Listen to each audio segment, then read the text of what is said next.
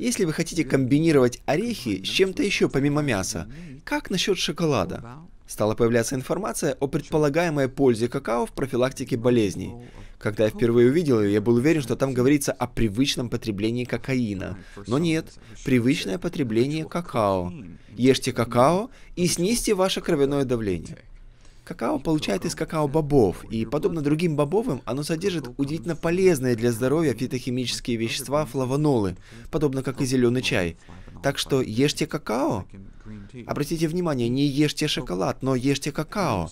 Сегодня, естественно, о молочном шоколаде не может быть и речи, потому что молоко, подобно как и в случае с зеленым чаем, блокирует все положительные эффекты.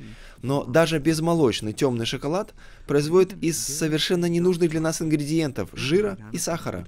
Жир – это насыщенное какао-масло, одно из немногих растительных масел, которые вредны для нас. Оно повышает наш уровень холестерина.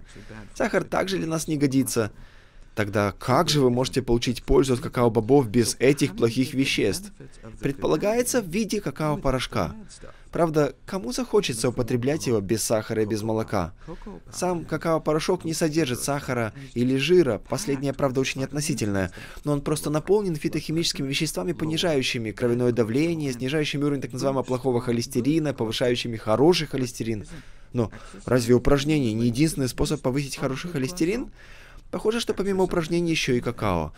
Правда, новый лекарственный препарат компании Pfizer, торцетропип, также повышает хороший холестерин. Большинство таблеток способны лишь снижать плохой. Генеральный директор Pfizer провел пресс-конференцию, назвав его одним из важнейших препаратов нашего поколения. Всего два дня спустя были опубликованы фактические клинические данные, и препарат был немедленно снят с рынка и выброшен в мусорное ведро вместе с миллиардом долларов, которые потратили на научно-исследовательские и опытно-конструкторские работы по его изобретению.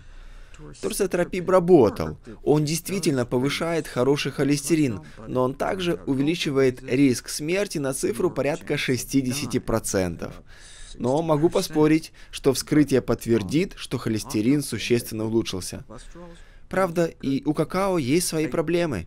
Непредсказуемое действие на работу нервной системы. Какао также повышает прочность сосудов, является мощным иммуностимулятором и даже может бороться с последствиями старения. Это все обнаружилось всего за 12 месяцев. Какао-бобы и старение. Неожиданно, но так подкупает.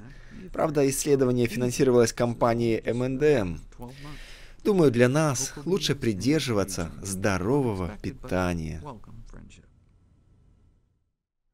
Сторонникам реформы здоровья предстоит совершить большую работу по обучению людей в этих вопросах.